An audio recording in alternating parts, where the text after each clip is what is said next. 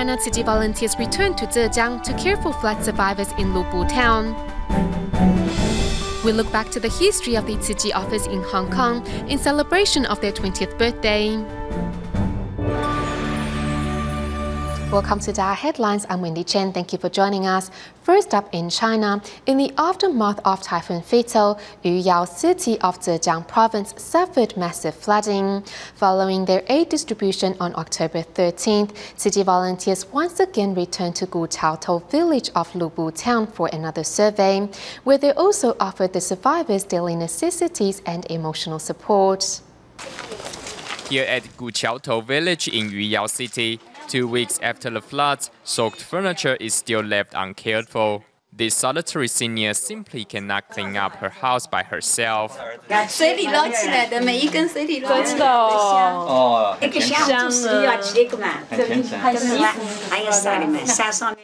the massive floods displaced countless families, such as this resident from Hunan, who accidentally got separated from her children while fleeing the floods. Everything is fine now. You're safe. That's what matters. Following the massive floods, Chi volunteers once again returned to conduct a disaster survey. In the past, the low-lying areas of Yuyao suffered flooding from time to time. However, this time, the floodwaters reached one story high, overwhelming the unprepared local residents. As the floodwaters came, we thought the situation wouldn't be too serious. However, the water kept flooding in and getting higher, so we went to the second floor. We felt so helpless to see the first floor submerged underwater and not being able to do anything about it. Countless immigrant workers in the community suffered great losses in the disaster. During their disaster survey, Tzu Chi volunteers approached them with much needed emotional support. Our greatest blessing is our safety. Such a natural disaster is inevitable. No one can prevent it from happening, not even the government. Now that we are safe from the disaster, we are still capable of rebuilding homes and restoring our life to normal.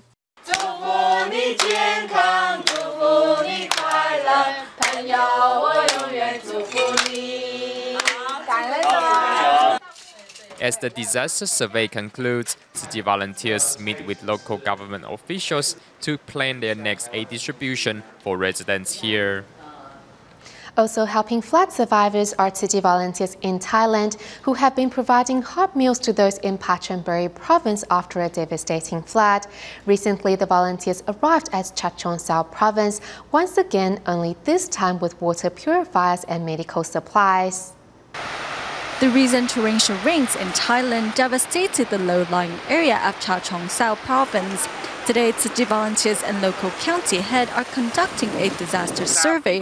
However, water is too deep. Our cars cannot get to many areas. The highest water levels were around 2 to 2.5 meters. It will probably take at least a month for the water to recede. To help, the local government has sent out troops to deliver daily necessities. As residents are living in an unsanitary environment, clean drinking water and medicine are desperately needed. พสตเนี่ยต้องมีความจำเป็น เพราะว่าต้องมีน้ำสะอาดใช้อยู่เป็นประจำ Hospitals need clean water to clean up medical equipment. Right now, the tap water is not that clean, so we can't drink it. Upon receiving the news, volunteer Zhuang Lijong arrived at the disaster zone with 20 water purifiers. We will set up water purifiers in community offices or temples. After all of them have been set up, members of the public will have access to clean water. Prachinburi was also affected by the floods. Thankfully, water has started to recede there. For nearly a month, more than 200 volunteers have been mobilized to hand out more than 16,000 hot meals to flood survivors. To help those suffering from the flood, government officials and residents from Lopburi province, which Tzu Chi helped in the 2010 flood, arrived at the disaster zone with food and relief items. I know that Chi volunteers have set up a service booth here. I miss the volunteers' love and care. That's why I'm very supportive of Tzu Chi. Besides delivering goods, many also volunteer to prepare hot meals for flood survivors. Instead of using disposable utensils, volunteers thoughtfully wrap the delicious meals and their blessings in banana leaves to make sure no harm will be added to our Mother Earth. Following a 7.1 magnitude earthquake in Bohol province of the Philippines on October 15th, Manila and Cebu City volunteers immediately conducted disaster surveys in the affected areas. Apart from handing out blankets and consolation cash, three team members were also on site to provide medical assistance to the residents. The big writing on the board voices out the needs of Bohol's residents. Although the aftershocks are not so frequent, residents are still too afraid to return home. When the earthquake hit, everything in my house was broken by the quake. There have been many aftershocks. I am too scared to take my kids home. So we've been staying inside this tent. We lack food and water, and each time it rains, we get wet. What remained after the tremor were collapsed buildings and a desolate scene. Of the towns affected, these five were the worst hit.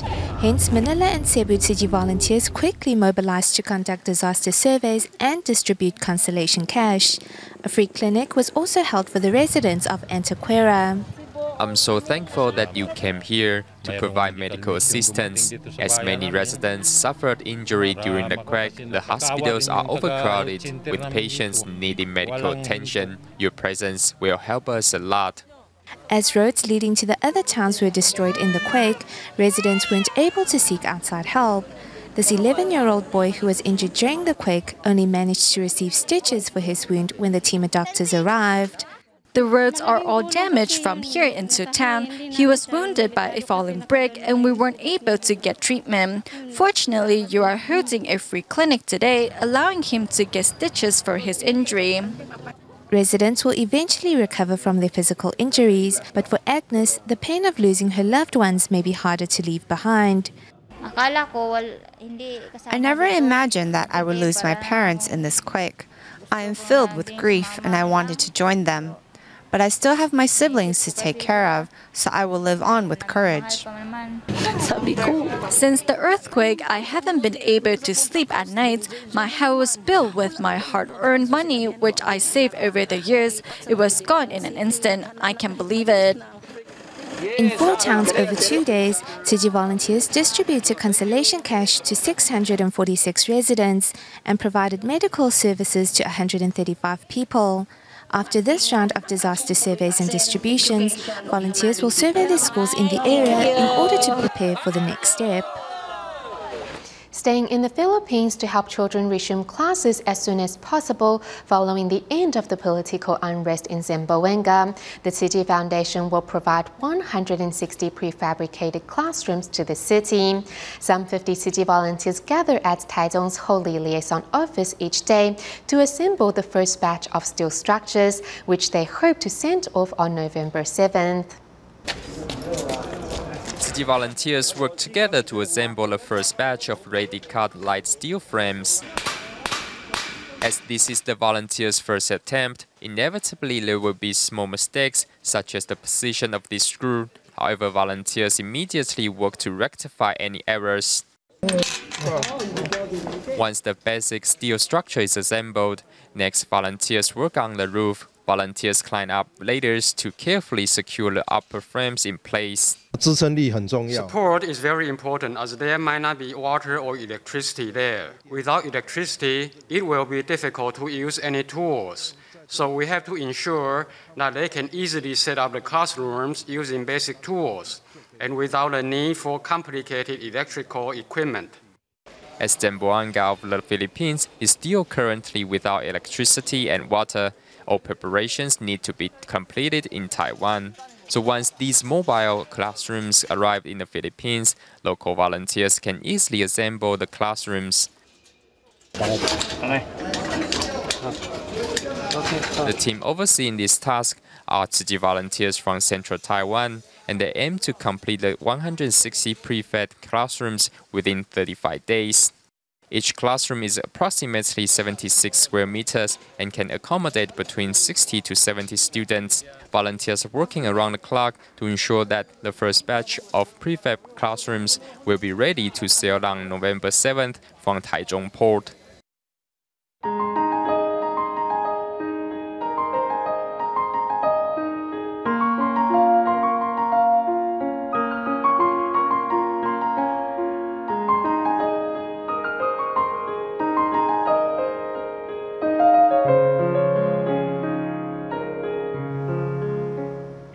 As this year marks the 20th anniversary of the Chi Hong Kong chapter, today we look back to the history of the establishment of Chi's offices in the territory. Here's more.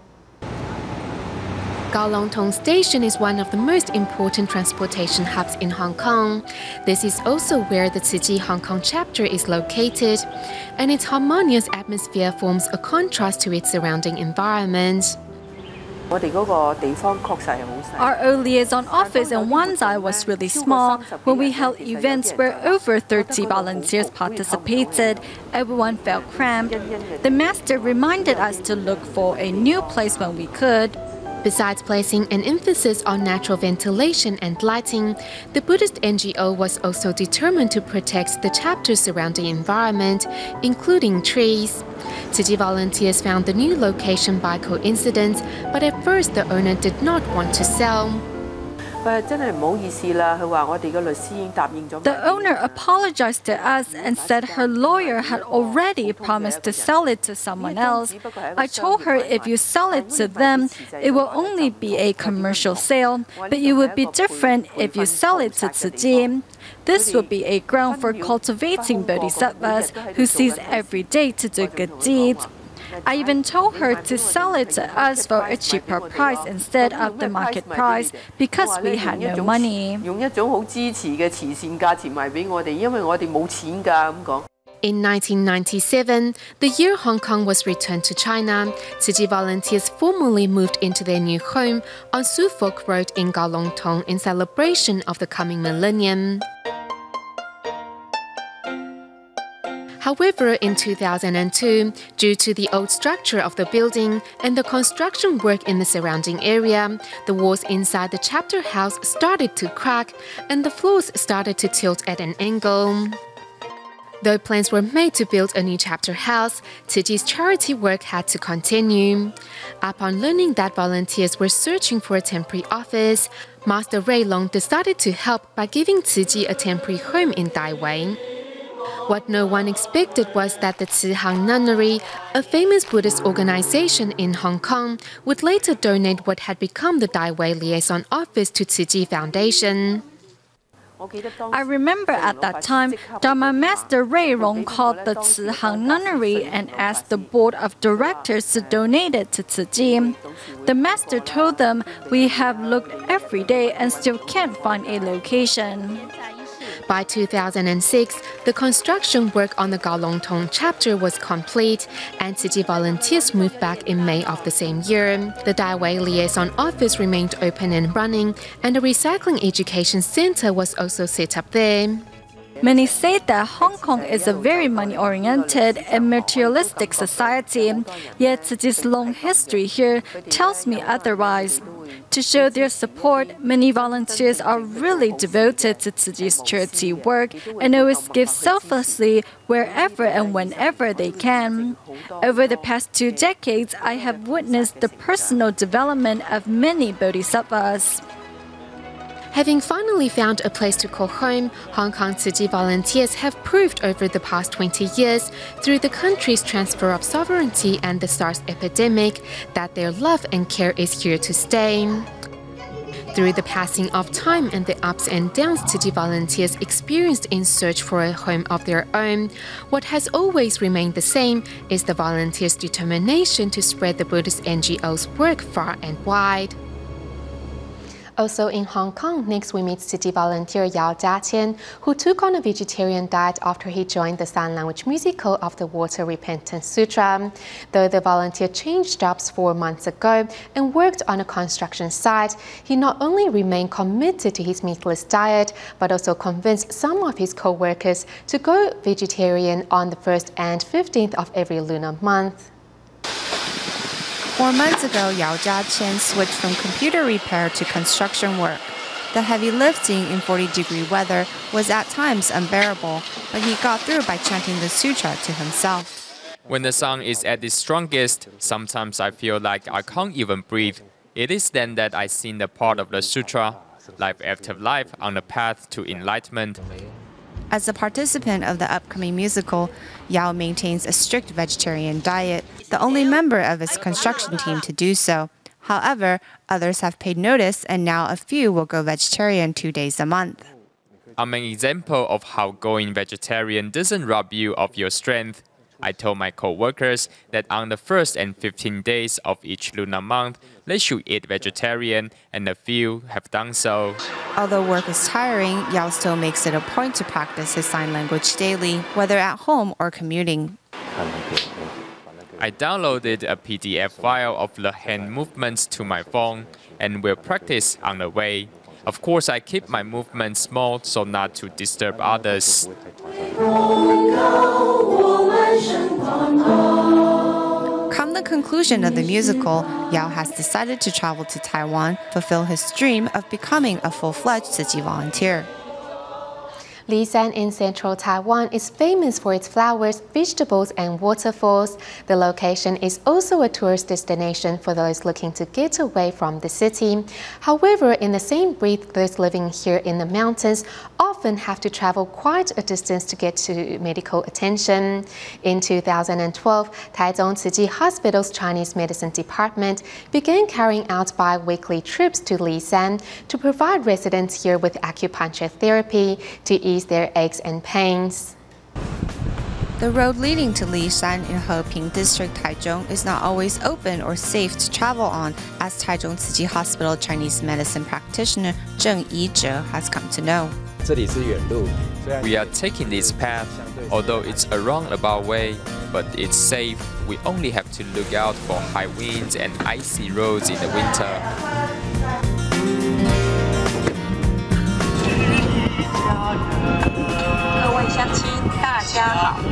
Previous to the Chi Hospital Chinese medicine practitioner's arrival, announcements were made to alert local residents of the upcoming free clinic. Here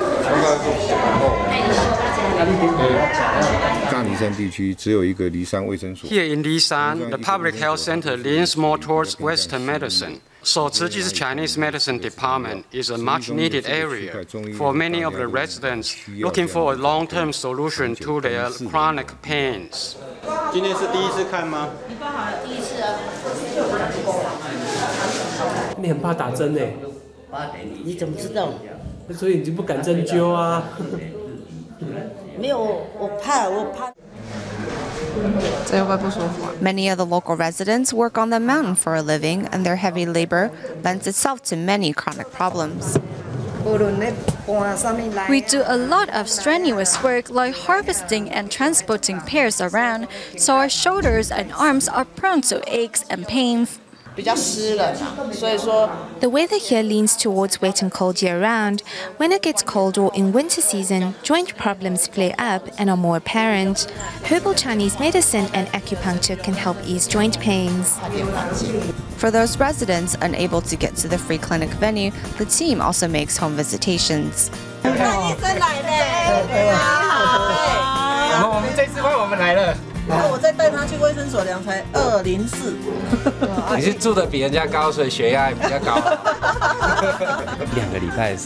Every two weeks, we hold a free clinic at a fixed destination.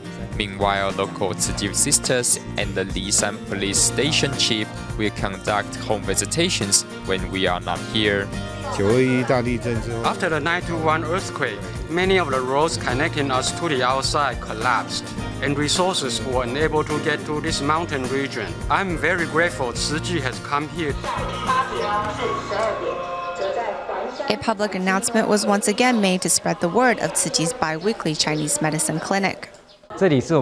This is our second fixed free clinic site in Lishan area. It is at the Huanqing Temple in Pingdeng Borough, which is about 40 minutes away from Lishan by car.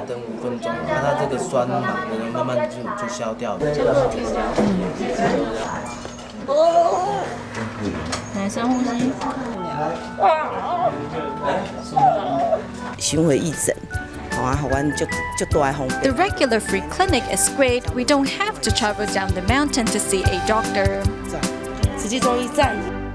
In Taiwan's Taichung, Tzu Chi volunteers have been caring for 93-year-old solitary senior Mr. Liu for the past six years.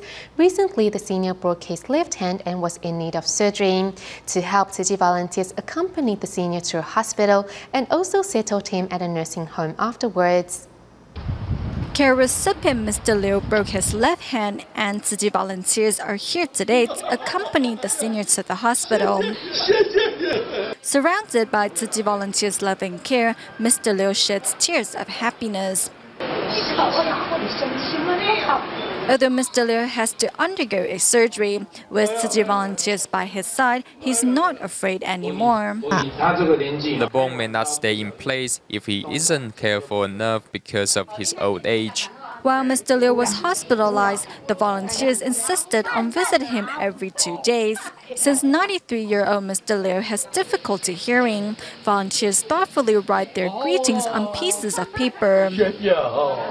For the past six years, Chi volunteers have been treating the senior like their own family. Touched by the volunteers' unconditional love and care, under the witness of a lawyer, Mr. Liu names Chi as his beneficiary. When I'm happy, it doesn't hurt. Laughing out loud and enjoying his time with the volunteers, Mr. Liu says becoming a giver has brought him tremendous joy. Moving to Hualien to give children living in the remote area the chance to embrace the world of books, Kaohsiung Tzu Chi volunteers bought 73 sets of Jingsi publications and donated them to 30 school libraries in Yuli.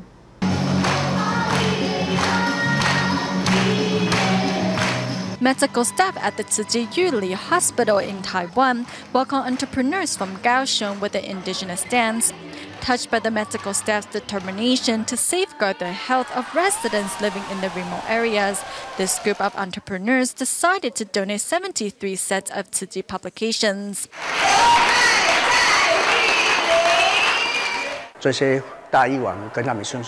These medical staff and Tzu Chi volunteers are filled with compassion. Their budget is limited, so all of us decided to donate these books and deliver them to Yuli. Hospitals can cure patients' illness, but what about their mind? Through today's book donating event, we hope to pass on Master Zheng Yan's words of wisdom to members of this community. We hope they can have the chance to absorb the Master's Dharma.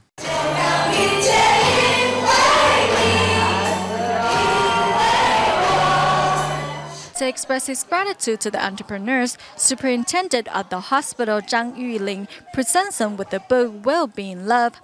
The Chi publication will be donated to 30 school libraries in Yuli to give more children the chance to embrace the world of books back to Hong Kong at the end of today's show as the musical adaptation of the Water Repentance Sutra will come alive today. Staff working on setting up the stage and equipment seized every moment to ensure the smooth running of the event, including a group of Chi volunteers from Taiwan who arrived early to help. We'll leave you with these images. Thank you for tuning in. Goodbye.